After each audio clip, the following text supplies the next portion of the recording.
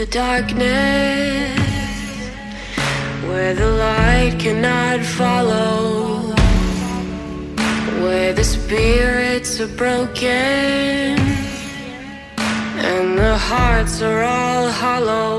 I believe that there is courage, but it's burning like ash in the